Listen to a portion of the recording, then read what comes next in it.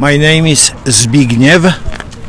Um, my profession or occupation is Our, uh, my profession is retired electronics engineer. and what are some of the things you like to do? What? I am still working on my uh, pet project. Well, specifically, uh, it is a fiber optic security system, perimeter security.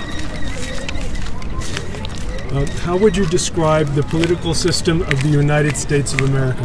Completely corrupt right now. Describe your feelings or reactions to the current state of U.S. politics. I hope it can be only improved because, well, it can go worse, but I, I am hoping for rapid improvement. It will be painful though.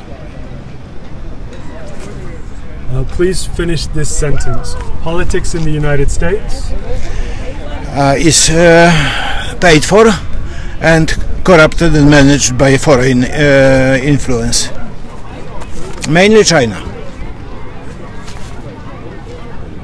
Um, now we're going to find a word that kind of brings us all together. That word is going to be the title of the segment with your audio and for the art piece too.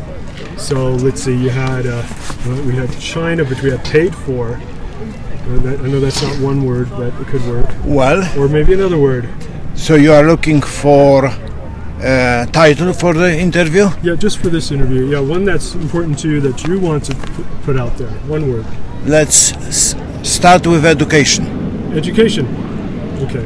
Can Corrupt, so which one is it? corrupted education. Ah, hmm. Gotta Yeah, well, you can you can, you can use corrupted or uh, education. So which one are you going to use? I would say use both words together. Corrupted education. Okay, okay. Because it, it, you cannot describe it in one. Okay. So can you say the word is corrupted education? The word is corrupted education.